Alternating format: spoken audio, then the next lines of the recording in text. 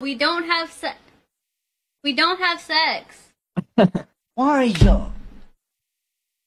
Guys, hold on. I gotta talk to Gigi real quick on the mic. Guys, I'm gonna mute.